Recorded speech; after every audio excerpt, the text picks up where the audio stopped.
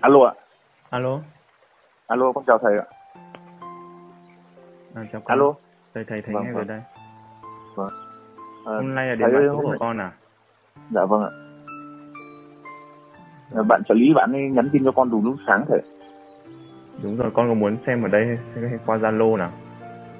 Ờ, qua zalo để con còn xem lá số của thầy con xem hay qua zalo gọi qua zalo của thầy Không cần thiết, nếu mà con muốn xem lá số thì Zalo cũng chỉ có giọng thôi bởi vì là lá số thầy sẽ có một cái bạn bạn sẽ làm lại bằng một cái file chỉnh sửa chi tiết chứ không phải là mờ mịt như kiểu livestream như vậy nhá. Sẽ có một Vâng. cái file hình ảnh đẹp đẽ 720p HD cho con xem rõ từng cung một chứ không phải là vâng. thầy không làm như các thầy khác là chỉ có cái hình ảnh mờ mịt như vậy. Vâng. Nhá.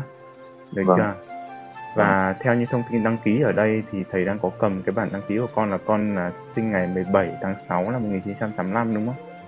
vâng ạ À, lúc 5 giờ 30 chiều tức là 17 giờ 30 ấy hả? À 5 Dạ giờ vâng. 30 sáng chứ đúng không? năm giờ ba mươi sáng thầy Rồi 5 giờ 30 sáng. Vâng. Con đã xem nhiều clip của thầy chưa? con có xem rồi thầy ạ Thế thì xem xong như vậy thì mình có đọc lại được nhiều không? dạ Đã đọc lại được nhiều chưa? Tự xem được chưa? dạ chưa nói chung là không không hiểu lắm ạ Thế à? Phải tự dần Vâng. dần mà hiểu chứ. Bởi vì Vâng. rằng là như thế này, nhưng con thấy bài đăng ở trên ờ, youtube của thầy ít lắm không nhiều như không thầy nhiều lắm thì không không có nhiều thời gian và Vâng. không phải là thì căn bản là cái lượng mà người đăng ký hiện tại bây giờ cũng đang là rất là nhiều rồi và thầy đang phải cố gồng mình lên để trả nợ trước Tết vậy nên là thầy À, cũng vâng. không muốn đăng nhiều làm gì vì đăng nhiều thì đăng ký nhiều mà thầy mà Vâng. lại bảo là không không cho đăng ký nữa thì thì nó cũng không hay bởi vì là như thế là vậy nên Vâng. là thầy quyết định là đăng nó từ từ thôi Vâng.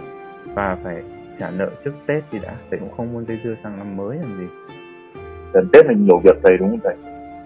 Thực ra Tết như này thì một số những người kinh doanh họ có những cái lễ mà họ muốn hoàn thành trước Tết tức là trước khi sang năm mới. Vâng. Vậy nên là gần Tết những cái việc như là lễ lạc này rồi là các làm lễ nó sẽ nhiều hơn. Vậy nên dẫn đến những cái việc mà lá số nó sẽ bị trả chậm hơn một chút. Vâng. Của con con thấy chậm. Bây giờ thầy đang xúc tiến tức là thầy tạm thời đang là gần như là có một số người là thầy không nhận thêm nữa. Một số người Vâng. thầy không nhận thêm nữa nhất là những cái đại gia đình ấy. Có nhiều đại gia đình Vâng. họ đăng ký tầm khoảng ba bốn người hoặc là có đại gia đình đăng ký tận bảy lá số những cái gia đình đấy thì tạm thời cái thời gian gần Tết này thầy sẽ không nhận nữa bởi vì là cái khoảng thời gian trả trọ thì rất là nhiều. Thế nên là con được trả sớm như này chứ thường thường trước đó ấy, phải là một tháng đến một tháng rưỡi. Vâng chắc bạn trợ lý cũng ưu ái cho con rồi. Tất cả là theo cái lá số. Và bây giờ thầy đang cố gồng mình lên để trả nợ trước Tết. Thế nên là trong thời gian này sẽ để nhanh lên. Dạ vâng. Rồi thì bây giờ à, thầy đang cầm trên đây lá số của con đây. Thầy sẽ đọc lại này. Con là sinh ngày 29 tháng 4 năm Ất Sửu Vâng không vâng ạ. Rồi. Thầy thầy xem giúp con chứ khổ lắm thầy khổ lắm mà khổ lắm thầy xem lá số đây rồi thầy đang cầm trong đây lá số đây cứ từ con từ. thấy khổ nhiều hơn rồi cứ từ từ yên tâm. Thực ra nếu mà Vâng. con đã biết xem tử vi thì khi con khi con nhìn vào cái lá số con này thì con cũng đã thấy nó cũng sẽ ứng nghiệm được cái phần nào cái lá số này rồi. Và bây giờ thầy xem để cho con vững tin và vững trí hơn thôi. Vâng. chưa? Thầy có đấy con, con xem cái lá số ở trên thầy trên youtube cũng giống giống của con. Ừ. nhưng mà nhưng mà cái con thấy nó cũng có cái cũng có cái khác nhiều rồi con như là cái cung phúc đức nó cũng khác với ở cái chỗ cung thân của con nó cũng cư khác. Thế là khác nhiều rồi. Có thể nhớ nha Vâng. trong bộ tử vi rất hiếm người giống nhau bởi vì sao? Có thể là chính tinh mà hai cung giống nhau thì giống nhau thật đấy nhưng mà phụ tinh chỉ khác nhau một vài sao thôi để con người đã khác mất rồi. Nhá. Khác khác vâng bởi vì Vâng. là sao? Có một số sao cực kỳ lợi hại như là không kiếp chẳng hạn. Có người thì cũng như con nhưng mà ví dụ như họ có không kiếp đóng bệnh hoặc là có không có không kiếp thì nó đã khác nhau hoàn toàn rồi nhá. Vâng ạ. Vậy Vâng nên ạ. thì thầy mới phải xem kỹ như vậy. Thế nên là một lá số con để ý mà xem. Các thầy khác như thế nào thì không biết nhưng các thầy khác sau khi mọi người xem và phân tích một cách sâu xa hơn nhất là những người làm ăn kinh doanh họ sẽ đăng ký Vâng ạ. chỗ thầy để xem sâu xa hơn. Cho nên là không phải chỉ có mỗi mấy cái cung là cái sao chính tinh của 12 cung nó sẽ nói lên vận mệnh con người được. Vâng. Thầy thì ưu ái nhiều hơn về bên phụ tinh. Phụ tinh sẽ quyết định về một nửa đấy vâng. Thôi được rồi bây giờ thầy đang cầm lá số đây và và do bạn trợ lý bạn sắp xếp thời gian cũng rất là sát thế nên là mình sẽ vào việc luôn nhá. Dạ vâng thầy giúp con. Thì cái việc đầu tiên này. Đầu tiên trong cái lá số này thì là thông tin cơ bản nhất của con là âm dương nghịch lý rồi nhá. Về Dạ kiến vâng. thức Vâng. xem tử vi xem nhiều clip tử vi thì chắc con cũng không lạ gì với điều này nên là thầy cũng không nói thêm gì nữa. Chỉ khuyên con Vâng. một điều là kiên trì thôi cho em một trì kiên trì và không nản chí đường còn dài Dạ và các cụ có cái câu là đường dài biết ngựa hay đừng nhìn những Vâng. người thuận lý mà than thở làm gì bởi vì Vâng. có một điều thầy đã nghiệm lý như thế này nếu mà con người mà nghịch lý cố gắng thì cái sự thành công của họ lại lớn hơn so với người thuận lý nhá vâng ạ.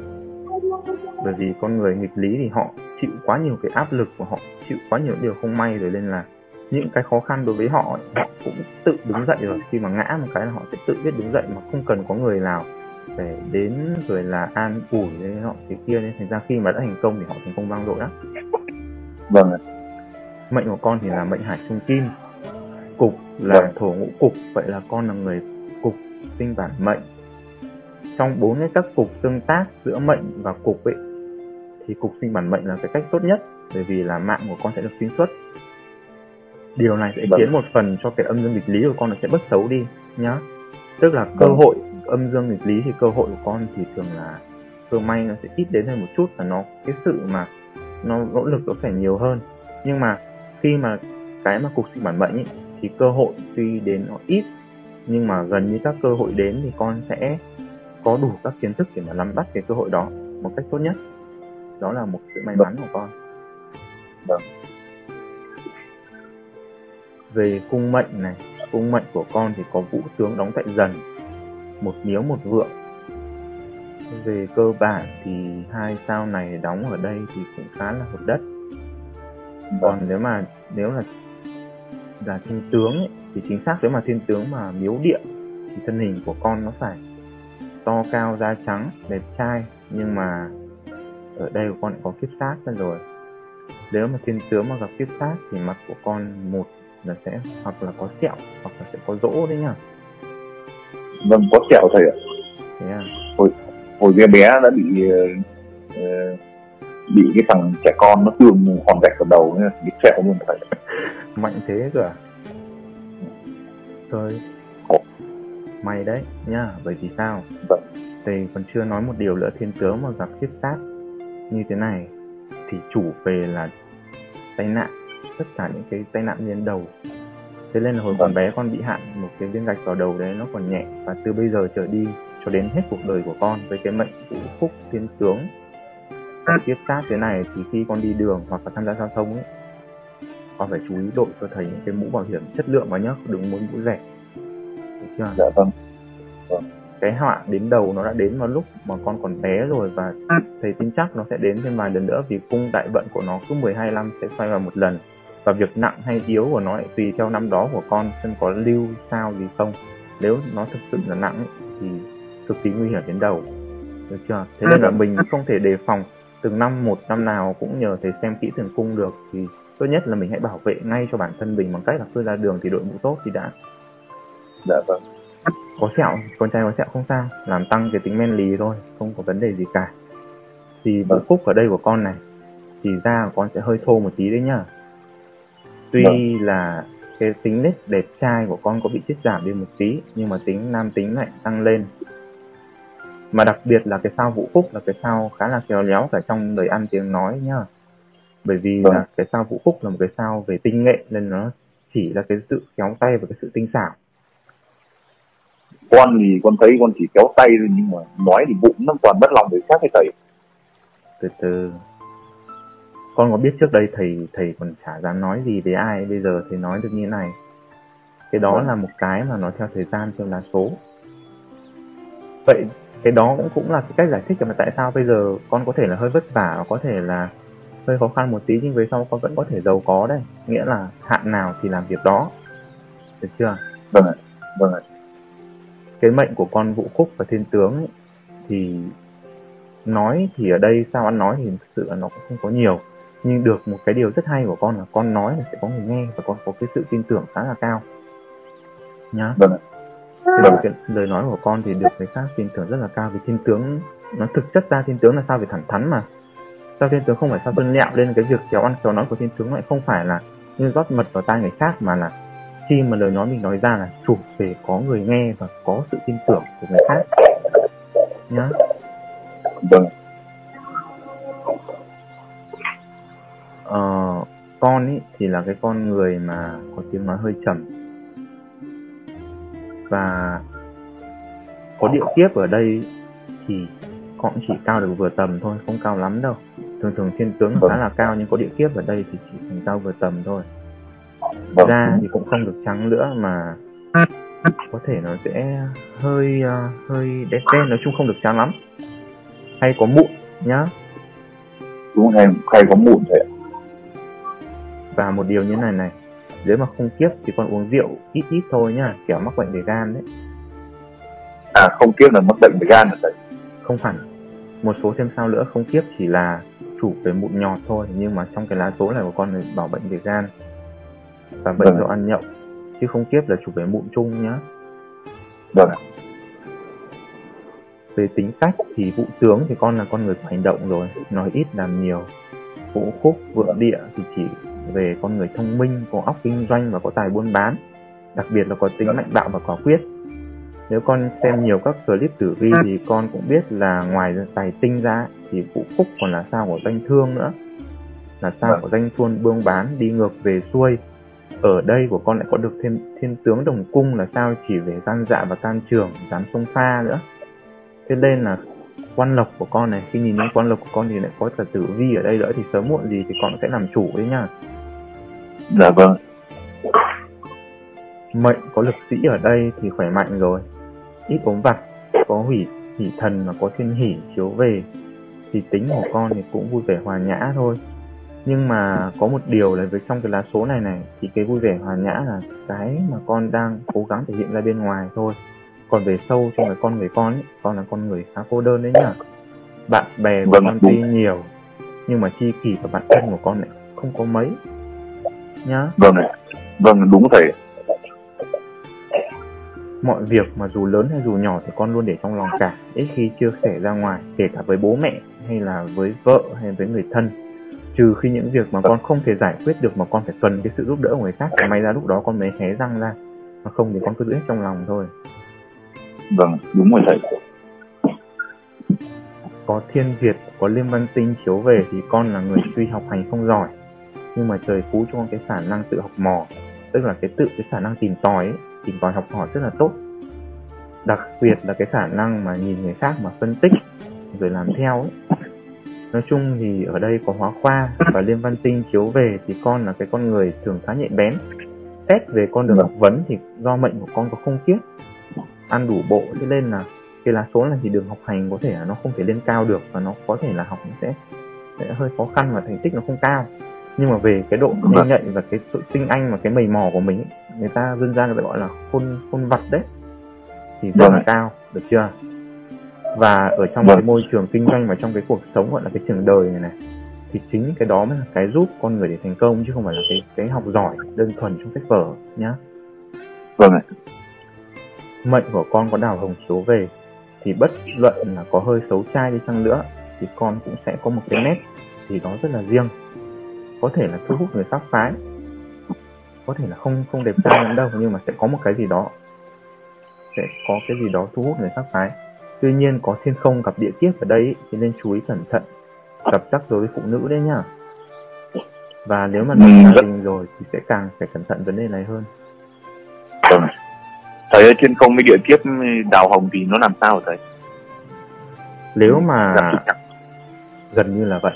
Nếu mà con xem nhiều tử vi rồi thì thầy sẽ không nói chuyên sâu lên nữa. Và con thầy thầy phân, phân tích thêm đi thầy. Thầy chỉ nói thế này thôi. Bây giờ con đã có vợ chưa? Đã trong có rồi thầy. số này thì à, cái đường vợ của con ấy thì sẽ có.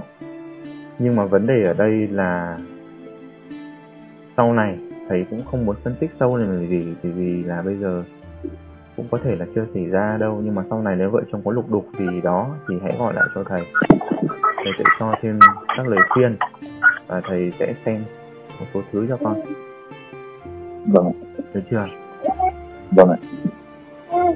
Xong là số này bởi vì sao? Bởi vì bây giờ có thể nó chưa xảy ra mà phân tích cái này thì nó không hay. Cái thứ nhất là nó ảnh hưởng đến gia đình con thôi nhá thầy một thầy điểm... thầy cứ nói giúp con mấy để ừ. con để con giữ mình.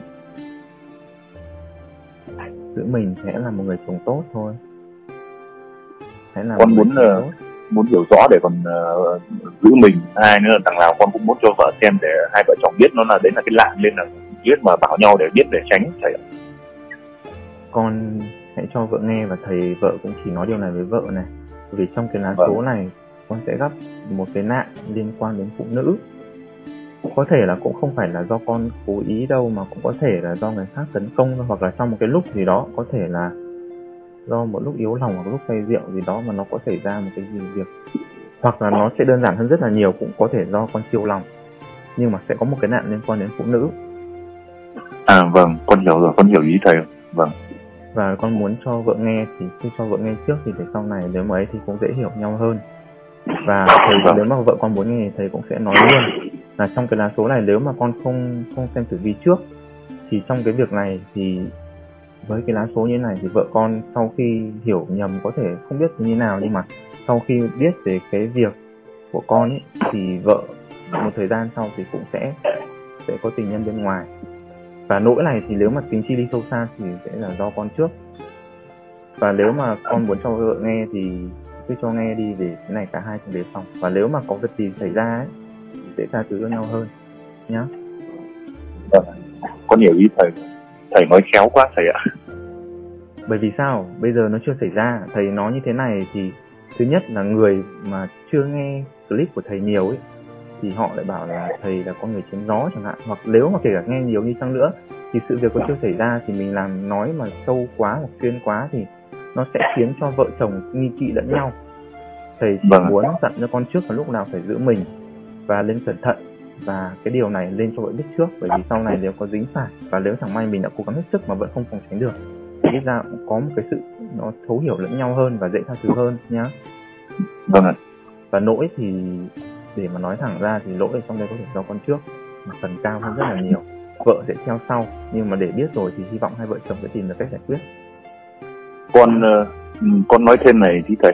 Con thấy đọc ở trong cái chỗ ở trên mạng ấy thì con thấy rằng là uh, đào đào hồng thiên không thì là là đi tu. Ví dụ như là nếu mà như thế thì uh, gọi là căn tu ấy thì con bảo là nếu hay là mình tu mình bằng cách là uh, tu thân uh, liệm phật ấy thì mình có tránh được không thầy được chứ. Nhưng mà như thế này để mà niệm phật thì không phải chỉ nói bằng mồm niệm phật là xong đâu. Vâng. tất cả mọi việc đến bây giờ thể nghiệm lý là tất cả mọi việc chỉ cần có tâm và niệm phật gần như là hóa giải được khá là nhiều thầy không nói là hết 100% nhưng mà để đến khoảng 70 75% là hoàn toàn có kể cả những bệnh nặng kể cả những bệnh nặng vâng. con đọc chú dược sư và chú đại bi tỷ lệ khỏi rất cao. Nhưng mà không phải chỉ đơn giản nói bằng mồm mà cái này nó phải tụng gần như nó là bằng cái tâm và ngày nào cũng tụng. Và gần như chú mà theo thầy nhận biết được là những cái lúc mà nó linh nghiệm nó gần như là nó rơi vào những cái bằng vạn biến nhá. Tức là mỗi biến là một lần đọc mà thường thường khi nó linh nghiệm thường thường nó phải rơi vào ít nhất là phải một đến hai vạn biến nghĩa là mình cực kỳ phải kiên trì rồi đấy. Vâng được chưa? Nghĩa là mỗi vâng tối đọc phải ít nhất nó phải từ 10 cho đến 30 lần. Ngày nào cũng như vậy vâng. thì cuộc sống của con nó thực sự sẽ tốt hơn rất là nhiều. Và có rất nhiều những cái trường hợp mà người ta bị bệnh nặng mà bác sĩ cũng không chữa khỏi được. Và khi thầy xem tử vi thầy biết là có bệnh này nhưng mà họ cũng là con người già rồi thôi có tuổi rồi nên họ có nhiều thời gian.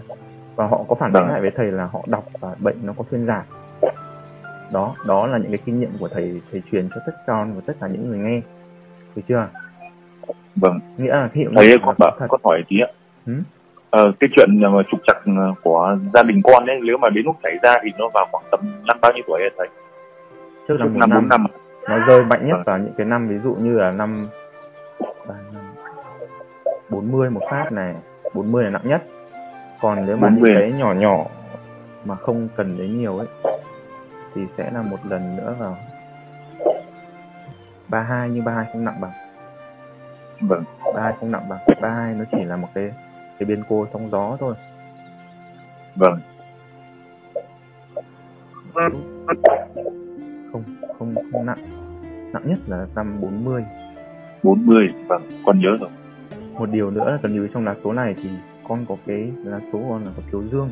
Thiếu dương thì thông minh lắm không phải Thiếu thông minh theo cái kiểu mà học giỏi mà thông minh theo cái việc mà trong tính toán làm ăn ấy. Với Vâng sinh mệnh này thì con nhưng mà có một điều đặc biệt như này. Với cái lá số này thì dù con có tính toán kỹ đến đâu thì mọi việc gần như nó đều không theo cái dự tính của con đâu. Nhá. Con thấy thế thầy ạ.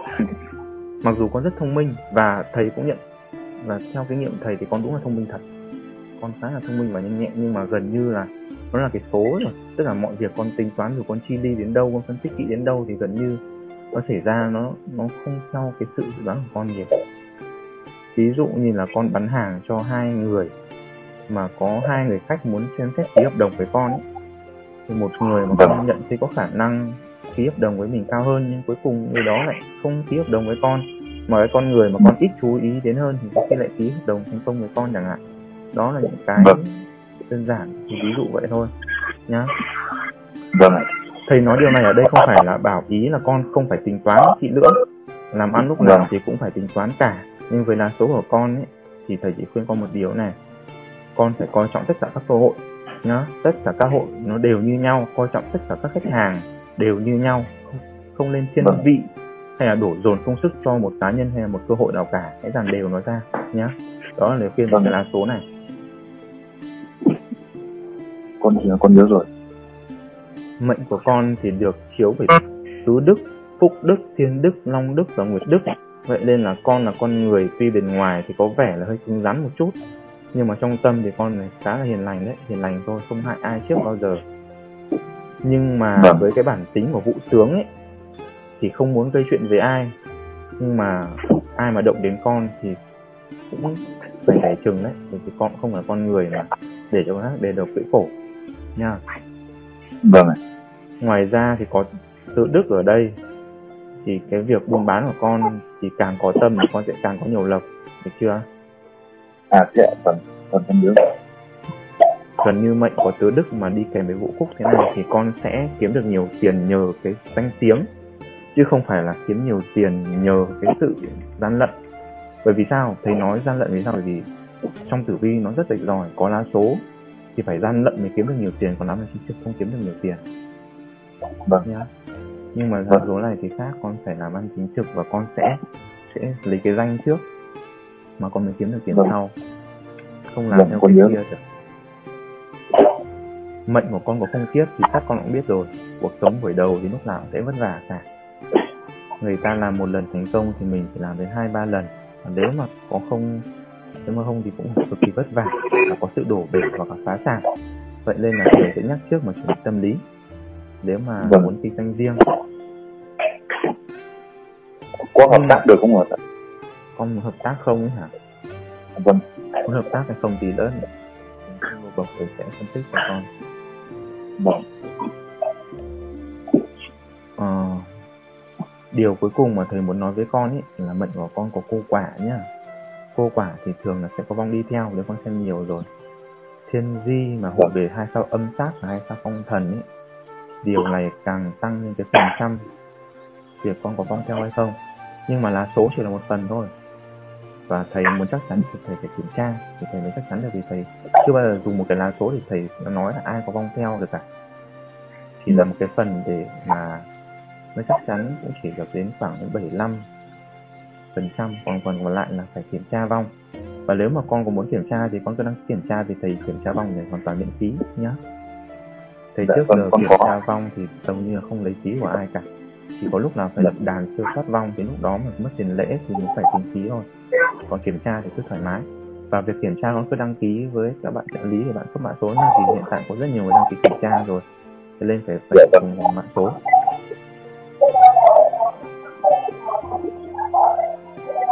cung quan. Thì đây là lý do tại sao mà thầy nói sớm muộn gì con cũng sẽ làm chủ. Bởi vì là con có tử vi cương ngọ ở đây là cái vị trí tối cao của sao tử vi rồi thì con làm chủ. Lớn đến đâu, thành công đến đâu thì còn phụ thuộc thêm vào các cặp sao và phụ tinh đi kèm. Nhưng mà cứ tử vi cư ngọ thì hầu như chắc chắn là theo kinh nghiệm lý thì sẽ phải làm chủ. Nhất là ở đây cung quan con lại ăn đủ đủ bộ đại tiểu hao nữa chủ về xuất nhập xuất nhập hàng và nguồn tiền lưu động. Cung quan mà có hóa khoa và liên văn tinh đóng ở đây thì con là cái con người hay tìm tòi tự học biết nhiều có tài năng về suy luận nghiên cứu và điều này nó rất giúp ích cho cái việc kinh doanh của con. Ngay từ việc tìm nguồn hàng này rồi cách thức liên hệ móc nối nhá. Thế thì những cái điều này mới khiến con là con người có thể thành công được chứ không phải là cái sự học giỏi đơn đơn thuần trên trường lớp. Vâng. Nào hồng chiếu về đây thì con là con người sớm ra ngoài tự lập bươn trải. Có thể là cái sự bươn trải của con nó có thể sớm hơn các bạn cùng trong lứa tuổi nữa. Và đối với con thì cái tính tự lập của con có thể là trong thời gian học đại học của con thì tính tự lập con cũng đã có rồi. Nghĩa là con thích cái gì thì con có thể là con có cái lối tư duy là tự mình đi làm thêm hoặc tự mình kiếm tiền để mua lấy chứ cũng, cũng rất là ngại để xin tiền bố mẹ. Vâng nhưng mà con cảm thấy ít bạn lắm thầy ấn trong học học đại học ấy cảm giác mình chỉ có một mình mình buồn lắm. thì thầy đã nói ngay từ đầu là số rồi còn gì nữa? Con bên ngoài tỏ vẻ là ấy thôi nhưng trong lòng con là cô đơn lắm và con cũng là con người ít bạn. Vâng. Lát nữa đến cung ờ, nô bộc thì thầy sẽ phân tích cho con. Và cái cung nô bộc này cũng phải cần một chút lời khuyên nữa để con có thể phân biệt ra đâu là đâu là bạn chơi và bạn tức là việc nào thì dùng bạn đó. Tức là cách dùng người đấy. Vâng. con có thiên khôi tấu thư chiếu về đây thì đa số con là con người tự mày mò là chính không được ai dẫn dắt giúp đỡ cả. Tức là tự thân lập thân đấy và chính yếu tố này thì rất cần thiết cho con người âm dương nghịch lý như con. Bởi vì là cái gì con cũng tự mình lo liệu cái gì con cũng tự mình làm. Thế nên là mỗi khi mà con vấp ngã ấy, con sẽ tốn ít thời gian để để đứng dậy hơn. Đúng chưa? Vâng đúng rồi thầy. Hoàn toàn tự một mình như thầy cái gì cũng tự nhận con nên nhớ tất cả những cái người mà thành công lớn thì họ đều là tự một mình cả. Còn những cái con người mà được nâng đỡ ấy, thì họ chỉ là thành công trong một giai đoạn thôi. Và nếu mà suôn sẻ và may mắn cho họ thì họ không gặp những bất chắc gì lớn thì họ có thể thành công đến cuối đời. Nhưng mà chẳng may mà họ chỉ có cái gì đó mà nó trục trặc, nó xảy ra thôi thì việc mà người ta tự gượng dậy mà đứng dậy xây dựng lại đối với những con người mà được nâng đỡ hoặc được người khác giúp đỡ nó khó lắm, nhá. Gần như là họ sẽ ăn vận thủ thường. Thế nên thầy mới nói rồi, âm dương lịch tí nó cũng là một điều tốt, không phải là xấu đâu chỉ là mình phải vất vả cực khổ hơn thôi nhưng mà cái ý chí của mình được thui rèn rồi. Mà khi một người ý chí được thui rèn thì ngã có mấy lần đi chăng nữa thì cái sự đứng dậy của họ vẫn sẽ là có. Và giàu có thì chắc chắn là mà thầy nói luôn trong lá số này thì đại gia thì thầy không không, không nói. Trong lá số này Ừ. không đạt được đại gia. Nhưng mà để mà nở mày nở mặt với thiên hạ có nhà cửa có ô tô thì có. Vâng.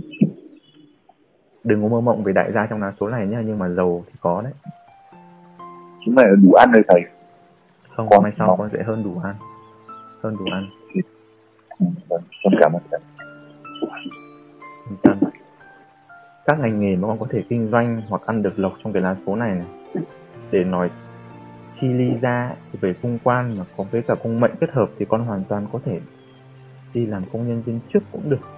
Đặc biệt là đi sâu các lĩnh vực thống kê số liệu nghiên cứu cũng được nhưng một phần thì mệnh của con nó có có cung kiếp rồi. Và cung quan lộc nó gặp triệt. Vậy nên là thầy khuyên con thì không nên dấn thân vào trường quan trường. Vâng. Mặc dù là con vào trong đấy thì cũng có đường thăng tiến nhưng mà do nó hơi chậm một chút. Và nếu mà con mà có vào hoặc đi làm một thời gian thì thầy nghĩ con cũng sẽ bỏ ra thôi. Bởi vì là không tiếp thì trong chốn quan trường thì thường nó đè nén bản thân con nó rất là nhiều và với cái tính cách của vụ tướng ấy, thì lại là cái tính cách không can chịu và cũng không chịu khuất phục. Thế nên là Vâng. cái sự bức xúc trong trong người con có thể nó sẽ rất là cao. Đúng rồi Vâng. thế nên là con làm một thời gian thì thầy nghĩ con cũng ra ngoài thôi. Được chưa? Thế là nghĩa là cũng không thể làm công ty cũng không thể làm trong quan trường. Không làm Vâng. quan trường nghĩa là không đi làm theo công nhân viên chức để đấu đá nhau ấy. Chứ không phải có nghĩa là không kinh doanh để mà mà học hỏi được con hoàn toàn có thể làm những công việc ví dụ như là làm công việc mà có tính tự do cao bởi vì con là cái con người không cam chịu mà con thích cái sự tự do và thích cái sự tự mình quyết định. Nên là những cái công việc đi làm công ăn lượng được nhưng mà con phải được chủ động về mặt thời gian. Đó là cái sự con thích nhất. Thầy không biết có đúng không? Có thích nhất là Đúng rồi, đúng việc rồi. nào được chủ động về mặt thời gian. Vâng. Con thích thế thích thoải mái lắm thầy. Cho nên thầy kiểu cái là phúc từ bé giờ cứ hay bị chèn ép với ghẻ lén hoặc là nó cứ dồn vào cái kỷ luật nào đó là con cảm rất rất là khó chịu ạ. thế nên bảo là con không vào được nhà nước mặc dù trong lá số này vào nhà nước cũng có cửa thăng tiến mặc dù hơi chậm thôi nhưng mà Vâng. khuyên không nên vào bởi vì với cái tính của con như thế này vào mà mà chẳng may bởi vì trong đó cũng phải thì nói thật trong quan trường cũng phải gọi là nịnh bợ một chút nữa Vâng. và vũ phủ ở đây, vũ tướng ở đây nói để mà nịnh kéo thì đối với con thì có vẻ như khó. Vậy là lên về cái lá số này thầy sẽ không khuyên con làm công nhân viên chức mà tách ra làm riêng, hoặc là làm những nghề mà mình chủ động thì sẽ tốt hơn. Với lá số này thì có đào hồng thiên khôi ở đây thì con có thể kinh doanh được các mặt các mặt hàng ví dụ như là trang trí làm đẹp này, ví dụ như là vật trang trí trong phòng chẳng hạn hoặc là các sản phẩm dịch vụ cho việc vui chơi giải trí. Có vũ phúc và thiếu dương ở đây chiếu về thì con hoàn toàn có thể là bán thêm các ngành nghề như gia dụng điện tử cũng được nhá. Vâng. ngoài ra con có thể kinh doanh các quán ăn này hoặc các đồ thực phẩm đông lạnh. Và cái cuối cùng cái cuối cùng thì cũng không nhiều lộc bằng ba cái trên nhưng mà con cũng có thể làm nhôm kính nữa. Nhá tức là cho thêm gì? con cái sự lựa chọn làm nhôm kính ấy, tức là làm mình làm làm các vật bên như về kính cửa kính này cửa nhôm rồi là cửa uốn này đó. À vâng vâng. Nhưng mà thầy nói trước cái này thì nó sẽ không nhiều lộc bằng ba cái trên đâu. Nhưng mà Dạ cũng là được một cái thì tức là thầy xem là số thì thầy cứ nói hết ra thôi. Và biết đâu ở trong cái cuộc đời của con mà những cái chặng đường con sắp đi ấy, con sẽ có những cái Dạ. cơ may gặp được một người bạn đó họ làm nhung kính và họ họ muốn là con con hợp tác với họ chẳng hạn thì đây cũng là một cái phần À, con có thể áp vâng. dụng được được chưa còn nếu mà tự Vâng. mình mở ra thì lộc sẽ không bằng còn khi mà khi mà hợp tác kinh doanh riêng ấy, thì phải xem lại là số của người con hợp tác nữa được chưa Vâng. nhưng mà có lộc với nhung kính thì cứ làm đi mệnh không thân kiếp lại có thêm thiên không đóng ở mệnh nữa thế nên là việc thăng trầm trong gió thì luôn luôn là sẽ có rồi không thể tránh khỏi được chưa kể là có đà con lan. con thấy Ừ? ờ, con nói thì ờ, con thấy con sợ bởi vì con đọc ở trong mạng nó nói là số mệnh không mệnh không kiếp thì số ăn mày con nghĩ là xa xôi cuộc đời này. Gì nghĩ là quan sẽ khổ hết đời. Xem một lá số tử vi không đơn giản chỉ là xem hai cái sao. Thế nên thầy mới nói rồi. Thầy mới nói rồi là thầy phải xem kỹ Dạ. từng cái sao một và phải cộng trừ nhân chia nó xem tử vi nó không hề đơn giản đâu nhá. Tức là như này dạ vâng. sao xấu thì có xấu rồi và sao tốt cũng sẽ có tốt. Trên mạng họ nói là gì? Trên mạng họ nói rất chung chung bởi vì sao? Họ sẽ nói là với cái sao này ở mệnh thì sẽ như thế này.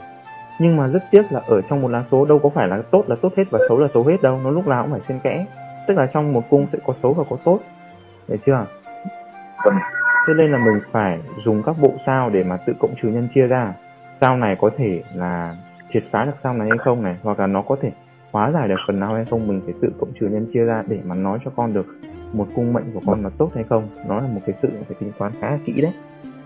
Vâng. thì nhưng mà một điều thì trên mạng nói đúng đó chính là mệnh không thân kiếp thì vất vả.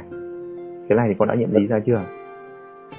Con thấy vất vả thăng trầm thăng trầm là đúng rồi và thầy nói luôn là không thể né qua tránh khỏi cái này được Vâng.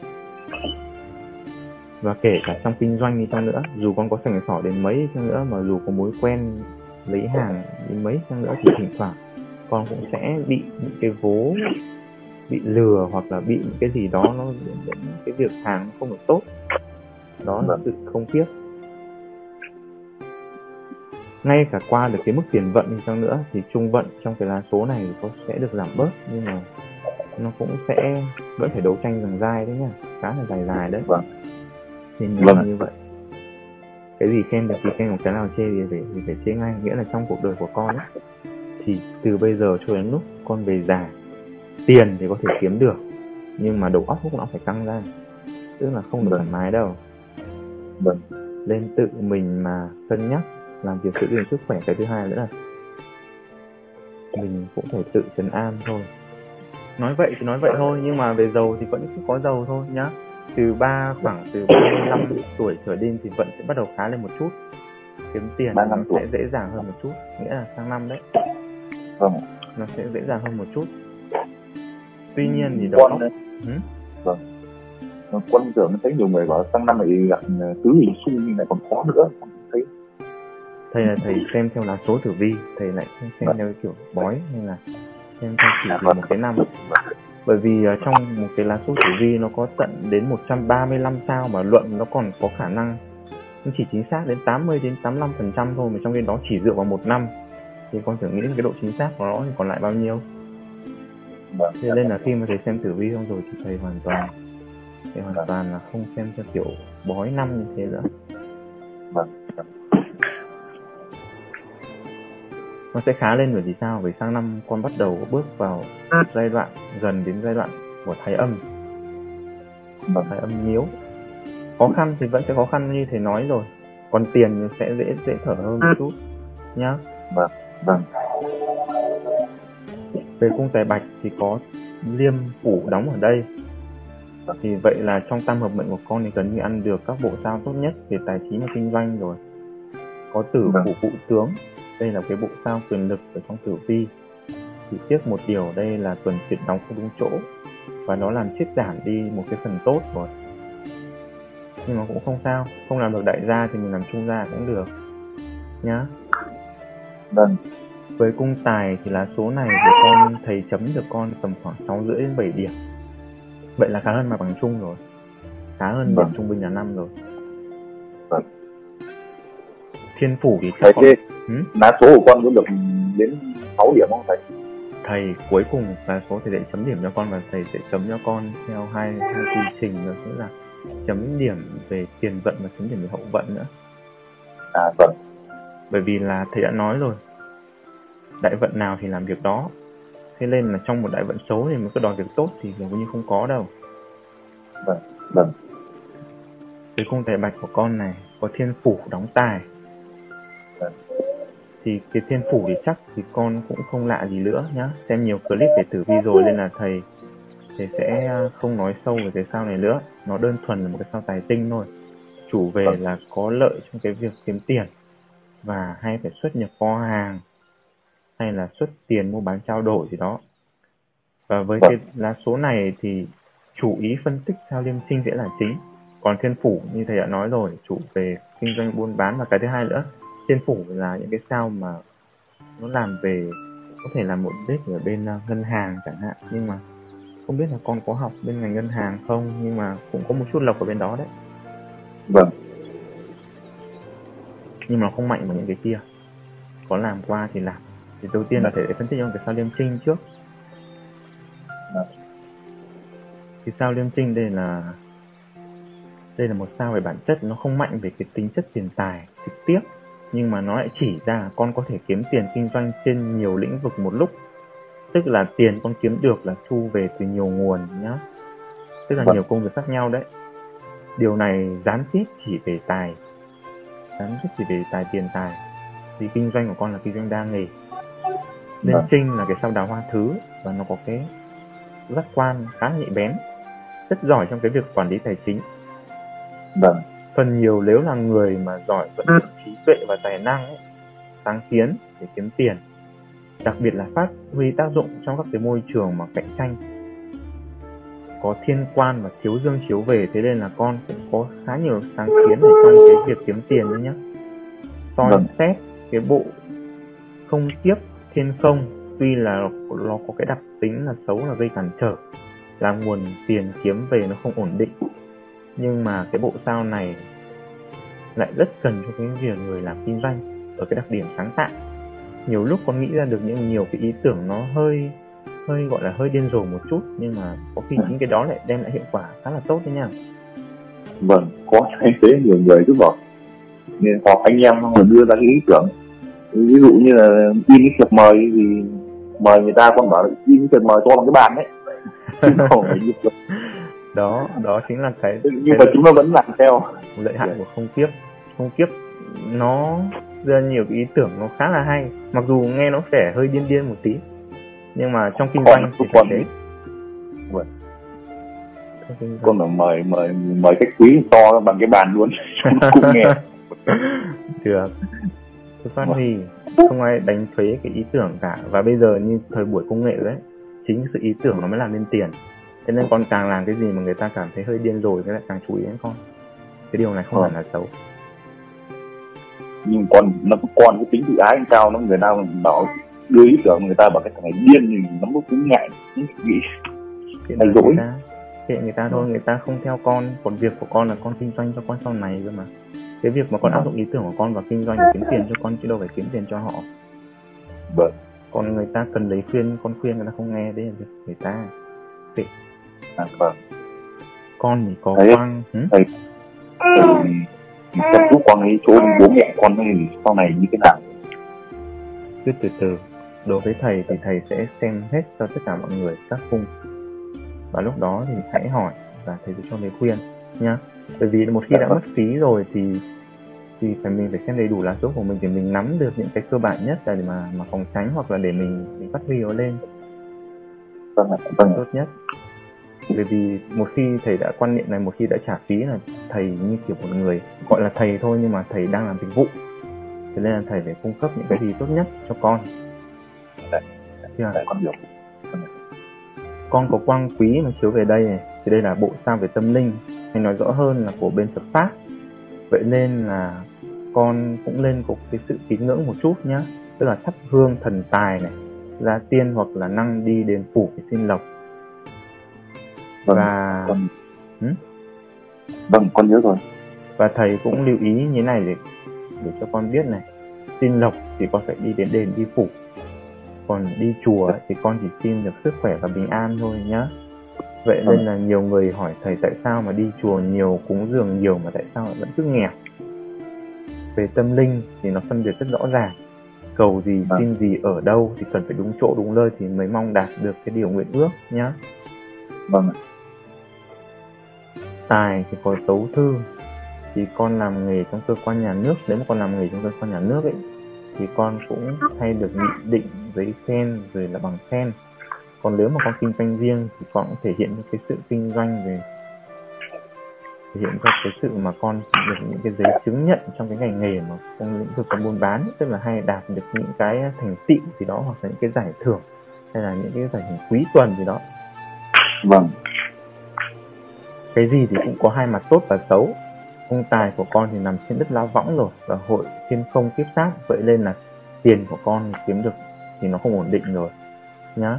Tháng nhiều và tháng ít nhưng mà hội chung ấy, về thời gian về tiểu vận một năm thì tổng quan thì cũng vẫn là kiếm được à, cũng, cũng gọi là đủ. Thì tam hợp mệnh tài quan của con nó ăn đủ bộ không kiếp thế này nên là thầy vẫn nhắc lại một nữa là trong đời con sẽ có những cái lúc quãng thăng trầm đấy. Nhưng mà đừng vì cái đó mà nản chí cứ tiến lên thôi nhá. Hai đại vận thiên đồng và cự môn thang lang hãn địa thì nó cũng sắp qua rồi. Tức là con đang trải qua hai cái đại vận cực kỳ xấu trong đời con đấy. Con đã nhìn ra vâng. chưa vâng đúng rồi thầy. Thiên đồng cự môn hãm gặp phá toái linh tinh và đang trong cái đại vận tham lang hỏa tinh thiên hình. Đều hãm cả gặp đại hao nữa không giữ được tiền. Vậy lên thì mình còn lo gì nữa? Bởi vì tiếp theo cái đó thì con bước sang đại vận thái âm rồi. Thái âm miếu. Vâng. vậy nên không miếu gặp tuần lắng nếu gặp tuần thì nó sẽ bị chết giảm đi. Nhưng mà ở đây sẽ có một cái rất là hay đó chính là miếu gặp tuần nhưng lại gặp cả hóa kỵ nữa nhá thái âm mà gặp hóa kỵ thì bị mờ đi. Nhưng mà lại gặp thêm cả tuần nữa. Thế nên lại sáng lên. Mặc dù tất nhiên là nó sẽ không không không được như một cái thái âm mà nó trong sáng hoàn toàn không có bị cái gì xung phá rồi, nhưng mà ít ra nó cũng rất là tốt. Được chưa? Không không có gì phải đáng ngại trong cái đại vận tiếp theo cả. Cứ tự tin vào phần đấu đi, cứ nghĩ cái gì, kinh doanh cái gì, cứ mạnh dạn lên vâng. đến hai cái đại vận xấu của con con đã qua được rồi mà vẫn còn được như thế này thì đừng có bây giờ nghĩ đến cái đại vận tốt mình lại kiếm kém hơn cả. Rất thoải mái thôi. Nhưng mà nhớ phải phân tích kỹ và một cái điều thầy đã khuyên con ngay từ đầu đấy. Không nên bỏ Vâng. qua bất kỳ một cơ hội nào cả cũng như một khách hàng tiềm năng nào cả. Bởi vì như mệnh của con là thường, thường tính gần như nó ra nó sẽ xác suất nó không được cao lắm. Mặc dù mình đã tính nát nước nát cái rồi đấy nhưng nó cũng khó theo nếu mà có điều gì đáng lo là lo cho cung cái thiên di trong cái lá số này thôi và đây cũng chính là cái cung an thân của con nhá và cũng Vâng. chính vì cái cung thiên di này mà tại sao thầy nói là tiền con có thể kiếm được nhiều nhưng mà về hậu vận con vẫn phải lo lắng và vất vả không phải là về thể xác mà là về tinh thần Trước hết. Vâng. trước hết thì cung thiên di không chỉ là xem về cái việc xuất ngoại có được hay không mà nó còn Vâng. nói lên là cách mà người ngoài đối xử với con như thế nào nhá nhận định mình như thế nào có phá quân đóng cung thiên di tại thân thì bất luận đắc nhiếu vượng hay hãm ấy thì cái việc kiếm tiền của con lúc nào cũng phải lao tâm khổ tứ cả Vâng. khôi việt nó chiếu về đây chủ về con là cái con người tự đi tiên phong tự đi tìm hiểu tự kinh doanh mà không được ai dẫn dắt có quan phủ tiên hình chiếu về thì làm ăn kinh doanh nó hay liên quan đến giấy tờ liên quan đến ký kết nếu mà nghĩ xa hơn một chút ấy thì con còn hay bị công an thị trường để ý nữa Vâng. ngoài ra đi kèm với không tiếp đắc địa còn chủ về kinh doanh các mặt hàng hoặc các vật phẩm nó liên quan đến những cái vật phẩm nó không kê kê khai thuế À, vâng. cũng may là cung thiên di con là đóng trên đất tràng tinh chủ về cái sự thuận hòa may mắn và thoát nạn trong gang tấc cho nên nó cũng đỡ xấu đi được phần nào. Vâng. thiên di của con có hỷ thần thiên y. Thì tham gia kinh doanh các vật phẩm hoặc các vật hàng chăm sóc sức khỏe cũng tốt. Có hỷ thần có thiên hỷ có long đức có phúc đức chủ về sống vui vẻ và hòa nhã với mọi người. Và nếu mà long đức mà nó đóng ở đây ấy, thì con làm việc chuyện cứu người sẽ là hóa giải được phần nào cái nạn phá quân đấy nhá À, vâng. Thầy con hỏi một chút ạ. Ừ? Ờ, vợ con làm nghề y thì sau này mà con đấy con theo cũng làm nghề như theo nghề thuốc của vợ ấy thì có được không? nếu mà theo nghề thuốc của vợ thì cũng được con đứng sau hậu thuẫn đi con đứng sau hậu thuẫn thầy thì chưa biết lá số của vợ con như nào thì trong cái lá số con ở cung thiên di của con thì có có làm được bên y và bên chăm sóc sức khỏe À, vâng. Thế nên là con nên hậu thuẫn. Nhưng mà để mà phân xem xem ai là con người làm chính và ai là con người đứng sau ấy. Vâng. bởi vì như này bởi vì ở trong lúc mà xem lá số thì nó sẽ phân ra là với vợ chồng cũng thế thôi nhưng mà nó sẽ phân ra số người góp vốn. Tuy là cùng trong nhà với nhau nhưng mà trong tử vi rất là tròn vẫn phân ra người góp vốn. Ví dụ như là vợ làm thuận hơn chồng thì trong cái lúc mà trở vợ lúc mà mình góp tiền vào thì cho vợ đóng cao hơn mình một chút thì coi như là vợ làm Vâng. chủ còn nếu mà mình tốt thì mình đóng cao hơn một chút thì coi như là chồng Vâng. làm chủ được chưa Vâng. một điều nữa cần lưu ý khi mà phá quân gặp kiết sát nhé là chủ về tai nạn ngoài đường và theo Vâng. như trong sách có ghi ý, gọi là chết đường chết chợ đấy nhưng mà trong cái lá số này trong cái lá số này thì không đến mức như vậy. Bởi vì là có tứ đức chiếu về mệnh. Nhưng mà vẫn phải lên đi đứng cẩn thận nhá để phòng tai nạn. Dạ vâng. say rượu thì không nên lái xe bởi vì là không chết đường chết chợ nhưng mà tai nạn nó sẽ tỷ lệ tăng cao rất là cao. Như thầy đã nói từ trước rồi đấy. Vâng. thiên di mà có vong thần mà có âm sát thì tránh đi tảo mộ hoặc là đi ra nghĩa trang vào ban đêm nhá dễ bị vong hợp nó bám về được chưa? À, vâng. nhìn thiên di thì phải nhìn luôn cả cung lô bộc nữa. Lô bộc vô chính diệu có tả hữu. Lấy đồng cự hãm làm chính tinh thì thì lưu ý là bạn của con ấy thì họ chỉ tốt khi mà mọi chuyện nó vẫn cứ ổn thôi. Còn Vâng. tuế phá và có phá toái hội trên đồng thì rất phải cẩn thận lúc mà mình xa cơ lỡ vận ấy. Bạn bè nó sẽ bỏ rơi mình Vâng. mà có khi còn quay lại còn cắn cho mình một cái nữa cơ Vâng. bạn bè trong cái lá số này chơi vui thì tốt còn để mà tin tưởng ấy thì không mặc dù Vâng. là bạn hoàn toàn có học thức đi nhá có bằng cấp đàng hoàng có xưng có phúc có văn xưng có xưng phúc ở đây thì khéo ăn khéo nói mà gia đình cũng khá giả nữa nhưng mà có tang môn và tai sát để có sinh hóa kỵ trung chiếu thì phải cẩn thận trong mục đích dùng người đi nhá. Dạ. Và quay trở về lại cái câu hỏi vừa lấy của con. Là con đang kết hợp làm ăn có được hay không? Thì Vâng. cái việc đầu tiên thầy muốn nói là muốn xem làm ăn được không là phải xem lá số của họ là cái cơ bản nhất cái đã. Và cái thứ hai nữa cái cung lô bộc trong cái lá số này này.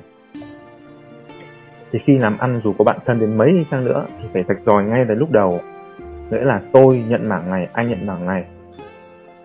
Và phải hoàn thành tốt theo tháng và phân Vâng. ra công việc như thế này. Lương phải trả lương. Và ai làm nhiều và đạt chỉ tiêu thì sẽ được lương thưởng. Còn nếu mà không ấy thì sau khi trả hết tiền lương mới bắt đầu chia phần trăm. Vâng. Chứ không được đánh đồng là tôi với bạn cùng góp tiền chung thế nên là cùng một bè. Thì cứ làm ra bao nhiêu thì chia đôi ra hoặc là chia theo phần trăm ngay. Thì thì với với cái cung cung bạn của con này này thì gần như nếu mà con không rạch ròi ngay từ đầu ấy thì may sau mất cả bạn lẫn tiền. Nhá. Vâng. mất Vâng cả bạn lẫn tiền. Thiên đồng cự môn chiếu về tới phá gặp thiên hư. Chỉ tốt trong những cái lúc mà kề vai sát cánh lúc mà đang trên đà mà nghèo khó thôi tức là mình đang chưa có gì trong tay cả cả hai cùng phấn đấu nỗ lực xây dựng lên cái cơ ngơi thì có vẻ rất là tốt và đoàn kết.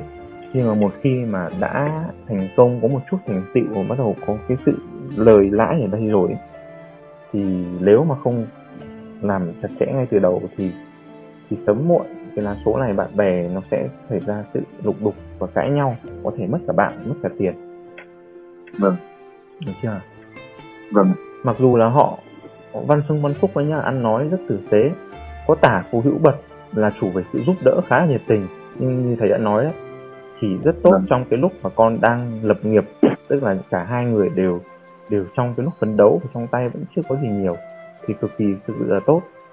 Thầy nói điều này để con tự phân tích ra và và suy nghĩ về cách dùng bạn và dùng người được chưa? Vâng Vâng. lúc nào lên chơi với ai mà không nên chơi với ai. Nô bộc ở đây thì có thanh long và hoa cái. Tam hợp chiếu là gì? Tam hợp chiếu của con có lộc tồn.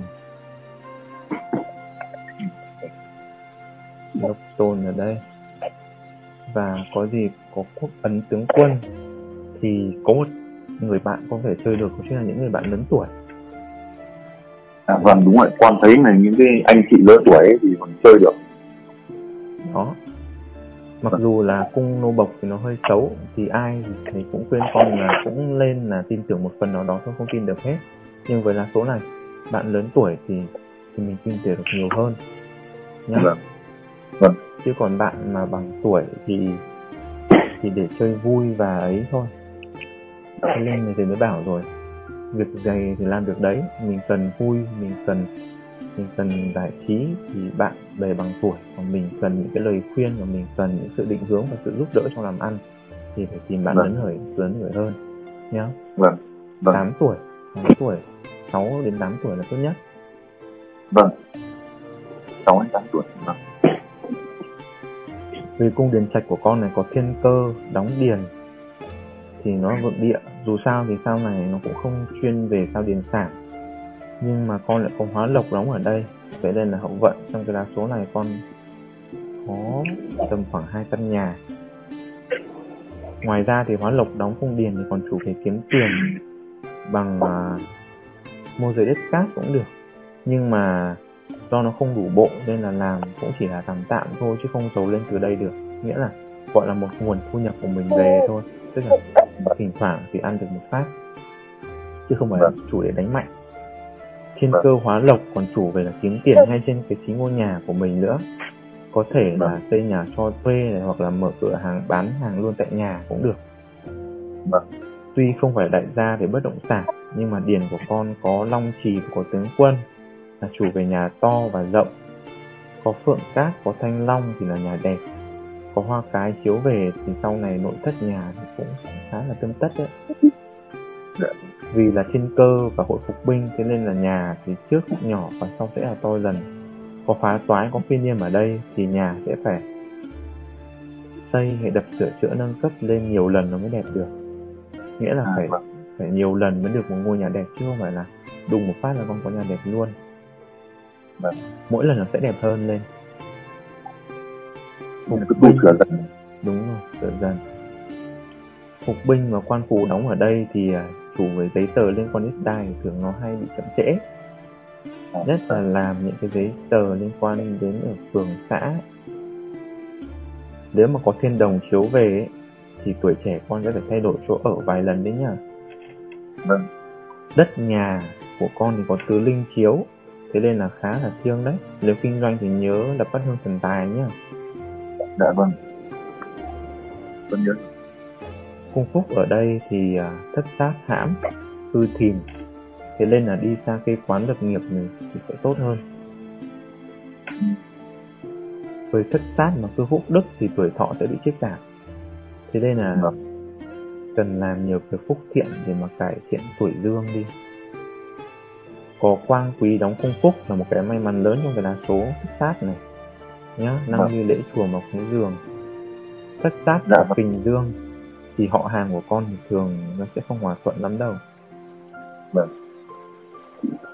và con cái trong dòng họ này thì thường gia đạo thì sẽ không gặp suôn sẻ lắm À, vâng trong dòng họ thì vẫn sẽ có người giàu.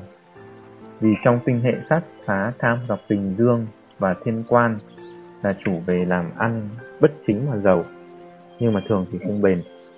Nếu mà càng giàu lớn thì tuổi thọ sẽ càng tiết giảm nhá. Vâng. Đó là với cung phúc này. Cung phúc này thì thầy cũng nói luôn là hơi xấu. Mặc dù là nó đóng trên đất đế vượng nó chỉ làm giảm bớt được phần nào thôi nhưng hơi xấu. Với cung phúc đức này thì lúc nào có tiền cố kiếm tiền đi. Bây giờ chưa cần làm đâu nhưng mà khi nào có tiền thì hãy lo cho các cụ trước. Muốn giàu có hơn thì phải lo cho các cụ trước. Vâng. Cung tật ách của con thì vô chính diệu rồi và vô chính diệu thì rất là tốt. Tật ách vô chính diệu chủ về là ít bệnh tật nghèo. Tật ách thì lưu ý cho thầy một số bệnh như sau này. Vâng. nhức nửa bắn cầu trái nhá. Nói chung là nhức đầu đấy nói chung nhức đầu đầu Vâng. Vâng. Nguyệt tập tuần thì mắt sẽ kém. Vâng. nhưng mà nếu mà ở đây mà gặp hóa kỵ mà gặp lưu tăng môn xung chiếu ấy nó có thiên khốc ở đây thì cẩn thận bị à, vật nhọn bắn hoặc đâm vào cái khu vực gần xung quanh mắt đấy nhá nói chung là phải cẩn thận. Quan hay thế lắm phải Tài nó đi đường hơn. Cứ bụi bụi bặm mà cứ bụi bặm như là mùi ruồi mũi hay mũi rất là mũi cho toàn vào mắt không đeo kính không được. Đeo kính vào bởi vì cái số của con là mắt của con sẽ bị kém và hay bị những cái vật lao vào mắt. Thế nên thầy mới bảo là Vâng. cẩn thận đi ngoài đường nếu mà đội cái mũ toàn đầu thì là tốt nhất còn nếu không thì phải dùng mũ tốt nào mà có cái có cái lật chắn ở phía trước mặt ấy. Vâng. Thế nên thầy mới nói để mà cho mà cẩn thận bởi vì cái mắt là cái quý giá nhất của con người rồi. Mắt kém và hỏng, hỏng mắt thì thực sự là, là con đường sự nghiệp đi tăm ngay. Vâng. bệnh về xương xương sống nhá. Không biết bây giờ con đã cảm thấy đau lưng chưa nhưng mà lên tập luyện thể dục nhiều và Có có à? Hay. Máu thì sẽ hơi xấu này. Bệnh thì con không mắc gì bệnh nặng đâu vì cung phúc. Vì phúc đức. Thiên phúc âm đức chiếu về có địa giải đóng cả ở đây. Nhưng mà tật lại nằm ở trên đất dưỡng thế nên là nếu mắc bệnh thì sẽ hơi lâu khỏi một chút. Vâng. Tức là bệnh thì nhẹ thôi nhưng mà khó chữa dứt điểm. Ví dụ như các bệnh như xoang này hoặc là các bệnh ở bên da liễu ấy. đó. Vâng, rồi. Viêm xoang. Bị chưa? Bị rồi không chịu đó. Những cái bệnh tuy không không nặng nhưng mà rất khó để dứt điểm. Thầy chung cảm giác cứ uống này đỡ đỡ rồi xong bắt đầu đừng uống. thầy bảo con như thế này nhá. Có một số người phản ánh lại về cho thầy là nó có hiệu quả còn dứt điểm được hay không thì thầy chưa biết chỉ biết là đỡ thôi. Là bây giờ Dạ. con pha cái nước muối loãng với tỷ lệ là tầm khoảng 10% thôi. Sau đó cứ mỗi tối nhá con đổ lên một cái bát bát nước. Mà nước này phải sạch đấy nhá pha muối loãng vào. Sau đó là con à, lấy cái mũi con bịt một bên mũi vào sau đó là con hít cái nước muối đó lên bằng đường mũi và con nhổ ra đằng mồm. Tối nào cũng làm như thế. Thì Vâng. nếu mà theo như các người ta phản ánh về với thầy thì chỉ cần hai tháng thôi là con đã thấy có sự sự cải thiện rõ ràng rồi. Còn dứt hay không thì thầy chưa có ai phản ánh là là khỏi hẳn cả nhưng mà tiến bộ thì có làm thử xem Vâng. Cái này thầy khuyên họ vì thầy thầy có những cái thầy cũng thích đọc những bài thuốc đông y và những cái bài thuốc mà họ ấy thì họ có chia sẻ như vậy và thầy cũng có giới thiệu với một số người xem tử vi và họ có phản ánh về là là có đỡ. Con cứ thử Vâng. làm theo. Dạ vâng. Vậy thôi giờ con muốn hỏi gì nào? Ờ, con muốn hỏi về bố mẹ con thì sau này có quan hệ của, của vợ chồng con với cả bố mẹ đỡ hơn ở đây này thái âm ở đây có hóa kỵ Vâng. con nhìn thấy chưa Vâng. thái âm có hóa kỵ chủ về là không hài hòa hay xung khắc và khắc khẩu Vâng. để nhẹ đấy ạ còn về không ngồi Ừ? à, không ngồi cũng nhẹ lâu chỉ được một hai câu cái là cái là thì nó có hóa kỵ rồi thế, thế thì vợ chồng con sau này có ở với nhau về lâu dài không thì đã nói rồi phu thê tham lang hãm gặp thiên hình gặp hỏa tinh nó sẽ có cái nạn như thầy nói đó Dạ. nhưng mà mình tất cả là do mình nhá đức năng thắng số chắc con nghe Dạ. câu này cũng khá nhiều rồi mình biết Vâng. trước này và mình có sự chuẩn bị thì nó sẽ đỡ hơn rất là nhiều nó có sự cảm Vâng. thông nữa nếu mà cả hai vợ chồng đều biết và khi nào Vâng. mà có tiền khi nào mà con mà có khả năng về tài chính thì thầy khuyên con là số này con nên làm chữ di cung đi nhá. Làm cung chữ cung hoàn số bởi vì sao? Trong đây thầy thấy hơi tiếc cho con là gì? Đó chính là đại vận của con cung cung quan. Cung quan không gặp kiệt. Mặc dù là tử vi gặp kiệt nó bị chết giảm thì nó vẫn vẫn là có số làm chủ nhưng mà nó không ổn định tạm thời cứ chưa có tiền thì cứ để đấy đã. Và thứ hai Vâng. nữa là cái cung tiếp theo trong cái đại vận của con là cái đại vận 35 đến 45 nó là thái âm yếu địa thái âm là sao chủ về tài tinh. Đáng nhẽ hóa Vâng. ra của nó thì nó cũng khá là tốt đấy. Thì tốt nhất là mình Vâng. làm cho nó xuân sẻ hết đi thì mình đi luôn cả cả, cả tuần là cả hóa kỵ đi là tốt nhất. Để cho nó xuôi trở mắt mái. Cái thứ hai nữa là các năm tiếp như là năm từ 45 đến 55 con tài bạch và liêm trinh thiên phủ cũng bị dính tuần mất rồi. Vâng. Là như thế là phải làm lễ thì nó di cung bán phố đi thì mới được rồi. Thầy nếu mà để không đi cung nhá thầy không phải là Vâng. con người mà hay vòi tiền. Thầy không Vâng. bao giờ vòi tiền của ai cả. Nghĩa là với lá số nào không cần gì thì không bao giờ thầy nói. Vâng. Và ngay cả cái cái trong lá số này ngay cả bây giờ. Con có bảo làm đi chăng nữa thì thầy cũng chưa chắc đã làm cho con. Vâng. thì thầy cái thứ nhất làm lễ là phải làm lễ nó phải bao giờ đúng hạn. Là cái thứ hai nữa là con phải phải gặp hết tất cả các nạn để đã. Bây giờ đang trong nạn thầy giải thì cũng không không được. Không được. Bởi vì con vẫn phải chịu nạn. Không thể làm như thế là làm thế nghịch thiên mất. Làm như thế cái thứ nhất thầy cũng bị phạt cái thứ hai nữa là hiệu quả nó không tốt. Cho nên Vâng. là thầy chỉ nói là cái đây là cái tư tư vấn cho con thôi nghĩa là số này làm đi cùng là số đi sẽ tốt. Nhưng mà nó sẽ rơi vào những cái năm mà con à, tầm khoảng trong đây là ít nhất phải là 37 tuổi. ba bảy tuổi. Ít nhất 37 tuổi mới lên làm. ba bảy tuổi làm đấy không? Ừ. thầy cái cũng không biết của con bây giờ xấu thì thì thì thế nào thầy xấu đây là là tiếp trước của con nó xấu lắm mà hay là một phần là Con trước của con nó xấu cái thứ hai nữa là cả cái bên bình âm của con cũng không được mạnh. Vâng. Cái này thì lại còn phải làm sau cả đi cung ăn số nữa cơ. Cái này thầy chưa bao giờ khuyên con làm bây giờ cả. Bởi vì cái lễ Vâng. này là lễ phản độ thì nó khá là lớn. Và cái thứ hai nữa là bây giờ tiền thì chắc chắn là thầy không biết như nào nhưng mà tốt nhất chưa nên làm bây giờ. Mình hãy kiếm một cái gì đó đã phải có một chút tiền đã rồi hãy làm. Đừng bao giờ cố một cái gì mà quá sức của mình cả. Đến lúc nào nó sẽ đi theo vận trình hết đi mà. Lúc nào mà con có tiền con có một chút dôi ra thì lúc đó làm.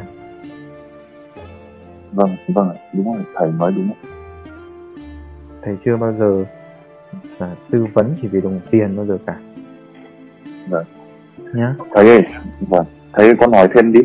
Cái cung thiên di con thân cư thiên di thì là sau này tính nết con nó, nó quái tính lắm rồi. Thầy thân cư thiên di. Là tính nết của phá quân thì là, là, là người như nào thầy mai sau con sẽ mạnh bạo hơn rất là nhiều. Nó à không biết nhát nữa thầy. Mạnh bạo hơn rất là nhiều và chính vì tại sao thầy nói là cái hạn của vợ chồng con nếu mà trong cái lá số này nó chỉ có mỗi riêng vợ con thì nó nó sẽ không không chắc chắn như thế đâu mà. Thầy nhìn vào cung thân của con này. Sau 35 tuổi con bảo đến hạn. Thì lúc 35 tuổi con bắt đầu vì sao thầy mới nói là những cái hạn trước nó rất là nhẹ? Vâng. Bởi, bởi vì là sau 35 tuổi con bắt đầu vào rơi vào cung thân. Cung thân có Vâng. phá quân gặp địa không gặp âm sát gặp vong thần. Lúc đó cái tính của con nó buồn cười lắm. Nó có thể gọi là hơi khó tính có thể hơi khó chịu một chút cũng được. Thế nên Vâng. thầy mới nói là đầu tiên tất cả những cái gì có khi nó sẽ đến xảy ra là do con hết sau đó vợ mới là con người người đi theo sau được chưa À. nghĩa là thay đổi là thay đổi từ mình là số của vợ thì thầy chưa cầm nên thầy không dám mạnh miệng để nói cái gì cả nhưng mà đây chỉ áp dụng trên là số của con thôi vâng Dạ. thầy ơi vâng à, cái phá quân ấy thì là là là là, là và quân nhá con đang nhìn hãm nên con đang muốn ý muốn hỏi thầy là là hậu vận của con nó xấu đúng không? Vâng con con cái nó xấu lắm. Hậu vận nữa hậu vận của con xem là có phá quân như là đến tận đấy là lắm. quân là cái sao chủ về liều lĩnh. Pháo quân thì hơi khác với các sao khác một chút. Đó là pháo quân mà đi về không kiếp đắc địa ấy. Vâng. nó nó cũng cứ như là con ví như là à, tử vi gặp tả hữu ấy. Con hiểu chưa dạ vâng. Nghĩa là nó liều mạng và nó liều ở trong đây là có liều có sự giúp đỡ. Không phải là cứ địa không địa kiếp đi với ai thì đều xấu cả đâu nhá. Riêng với pháo quân thì lại cần địa không địa kiếp mặc dù nó chủ về sự liều lĩnh nó chủ về cái sự phá tán thất thường nhưng mà chính cái này nó mới gây lên cái sự mà giàu có. Vâng. Chính vì cái này thầy mới nói là kể cả về già con cũng vẫn phải đau đầu đấy. Tức là tiền thì kiếm được nhiều nhưng mà về cái tư tưởng lúc nào cũng phải căng não ra để mà suy nghĩ. Bởi vì mình lúc nào trong cái giai đoạn là là gặp khó khăn chắc trở mà kiếm tiền trong cái, cái hoàn cảnh khó khăn mà. Được chưa? Vâng. vâng. Thế thầy đi cung bắn số đi thì là sẽ đỡ đi đỡ cái tính cái tính cái, cái tính con mà sau này nó buồn cười. Đi cung bắn số đi thì cũng đỡ đi. Đỡ đi chứ. À, vâng. Vâng con chắc không thể nào còn ờ, một điều nữa là con đang muốn hỏi về cung con phải không? Vâng ạ. Tử tức của con có thái âm miếu. Con thì sau này có tướng quân quốc ấm đóng cung ở đây. Rất là tốt. Nhưng mà thầy chỉ ngại một điều sau này con của con nó cũng sẽ không hợp con giống như là con không hợp bố mẹ thôi. Còn về Vâng. tốt thì khá là tốt. Tốt lắm. Tướng quân và quốc ấn đồng cung như thế này gặp thái âm như thế này chỉ Vâng. Chỉ dạy dỗ cháu tử tế một chút thôi thì cháu sẽ thành con người giúp ích cho xã hội ngay. Làm công ăn lương đều tốt và kinh doanh cũng đều tốt thì thầy âm chủ về sao tiền tài. Và nó có là cái con người mà cũng ít nói như bố nó. Thầy âm đằng sau sao thu vào?